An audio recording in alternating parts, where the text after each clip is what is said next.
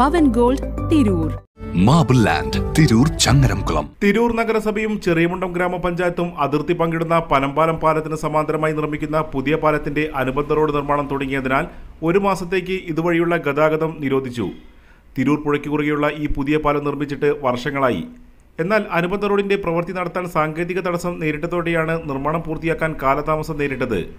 അഞ്ചു കോടി അൻപത്തിനാല് ലക്ഷം രൂപ ചെലവിലാണ് റോഡിന്റെ ഇരുഭാഗത്തും അനുബന്ധ റോഡ് നിർമ്മിക്കുന്നത്. പാലത്തിന് നൂറ്റിനാല് മീറ്റർ നീളമാണുള്ളത്. ചെറിയമുണ്ടം ഭാഗത്ത് അനുബന്ധ റോഡ് എഴുപത്തിയഞ്ച് മീറ്ററും പയ്യനങ്ങാടി ഭാഗത്ത് നൂറ്റി ഇരുപത് മീറ്ററുമാണ് നീളം. ഗോവ ആസ്ഥാനമായ ബാബ് കൺസ്ട്രക്ഷൻ കമ്പനിക്കാണ് നിർമ്മാണ ചുമതല. മൂന്ന് മാസം കൊണ്ട് നിർമ്മാണം പൂർത്തിയാക്കാനാണ് ശ്രമം.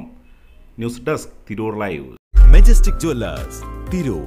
Marble land Tirur Changaramkulam. Pavan gold Tirur.